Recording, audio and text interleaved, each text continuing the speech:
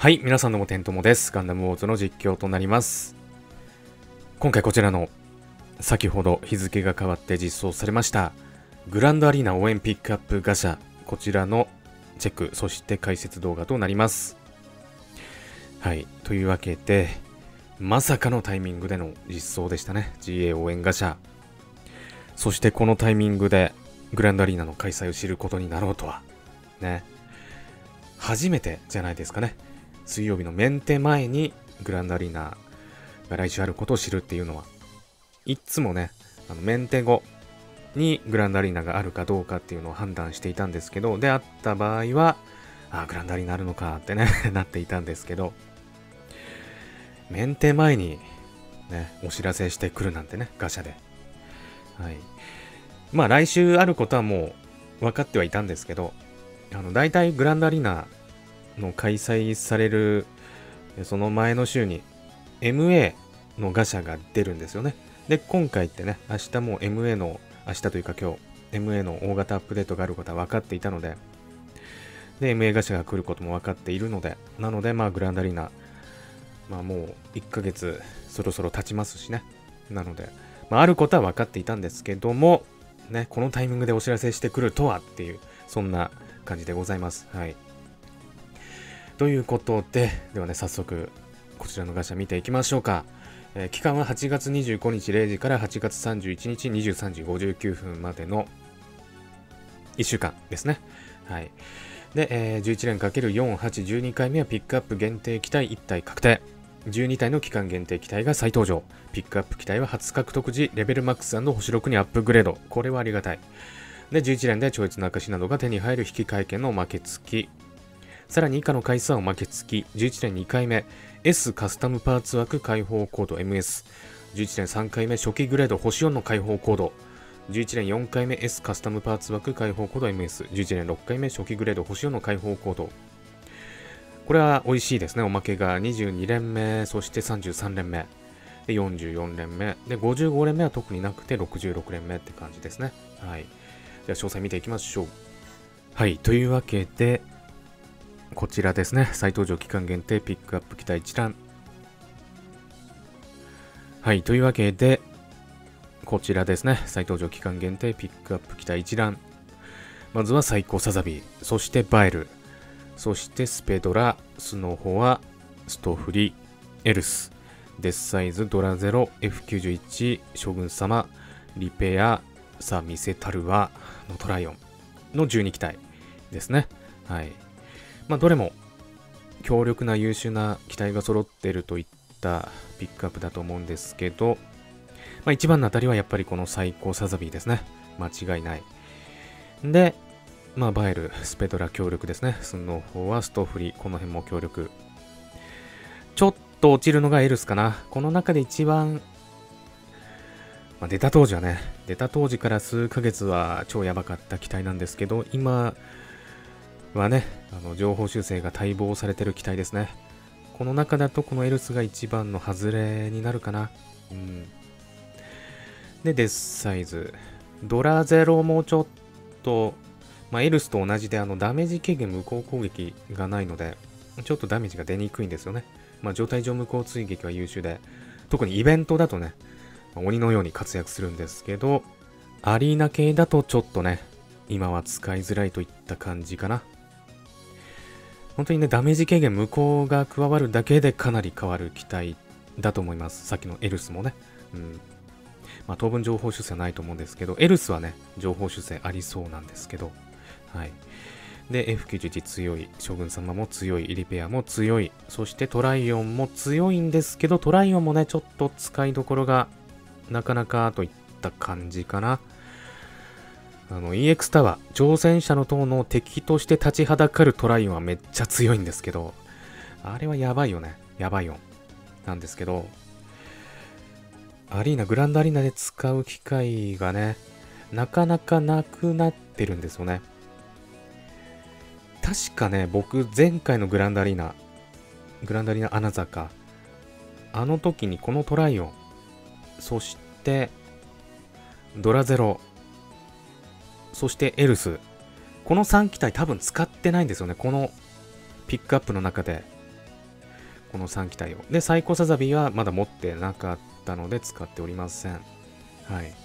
そう。だから結構あの、信憑性があるというか、ね、エルス、ドラゼロ、そしてトライオン。この3機体はちょっとグランダリーナだと、出番が少ない感じかなと。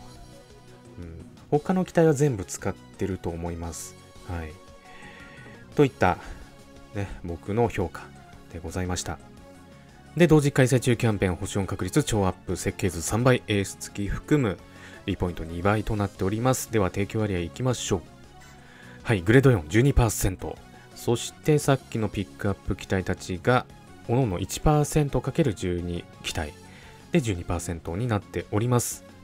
で、サザビーね、最高サザビーだけエース必殺がない感じですね。他は全部エース必殺がついております。で、まあこのガシャなんですけど、どういった方が引くのがおすすめか。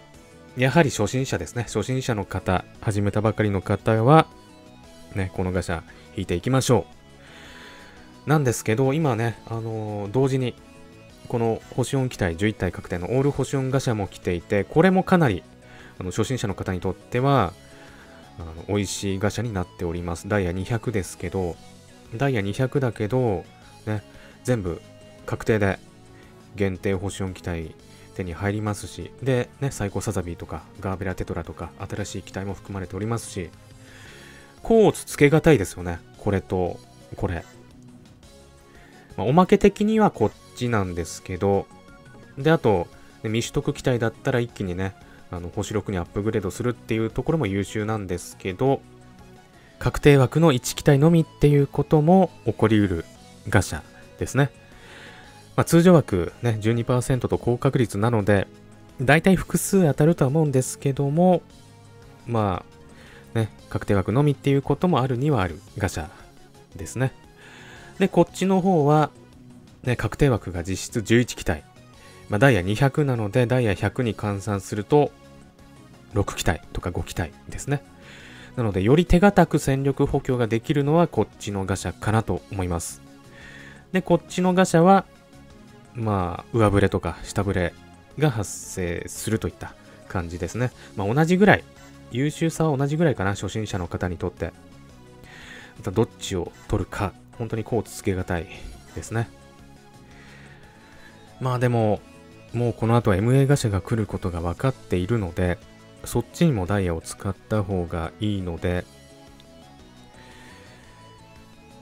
このガシャにダイヤ200を使うよりは、こっちのガシャにダイヤ100使って、もうダイヤ100を MA ガシャに使うっていうのが一番賢いやり方かなと思います。初心者の方にとって。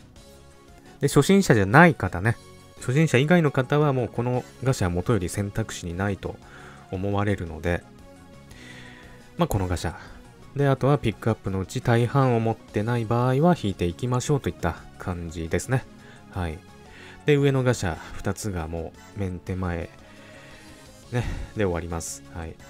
ね、フェス限手に入れたい方は、メンテ前までにこのガシャを引いて、そして、ね、このガシャめちゃくちゃ優秀なので、ね、まあ、どの機体も持ってないとか、ファントム持ってないとか、そういった方は、ダイヤ100使っていきましょう。はい。ただ万能設計図ね、万能設計図がないっていう方、ね、僕みたいな方は、まあ、スルーでも良いかなと思います。はい。というわけで、今回はこの GA 超応援ガシャの解説動画となりました。まあ、少しでも参考にしていただけたらなと思います。あ、そうか。引き換え所。引き換えじゃ特にいつもと変わらない感じですかね。で、そういえばおまけが優秀だったんですよね、このガシャ。11年2回目、3回目、4回目、そして6回目に S カスパ枠解放コードと初期グレード星4の解放コードがついてくるという。これかなり優秀なアイテムなので。まあでもね、初心者の方は、まあそんなにすぐ必要にはならないかな。S カスパー枠解放コードは超越にしないとね、使えないので。まあ、無理してね、22年、33年まで引く必要はないかもしれませんが、まあ、課金ができるっていう方はね、まあ、願を長く続ける上では、ね、引かれていくのが良いかなと思います。まあ、基本的にこのおまけは、上級者の方が喜ぶ、そんなおまけな感じですかね。この辺のピックアップ機体、どれも持っていても、このおまけのために引いていくっていう上級者の方いらっしゃるんじゃないでしょうか。はい。というわけで、ね、とりあえず、大型アップデート楽しみですね。はい。メンテ5、MA デッキ、どんなものなのか楽しみにしております。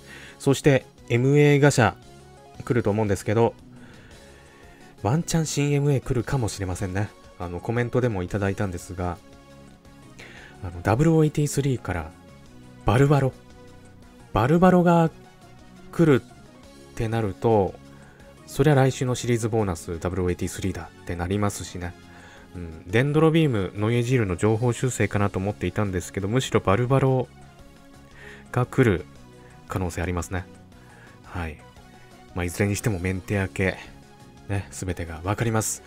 はい、それでは、今回これで以上となります。いかがだったでしょうか？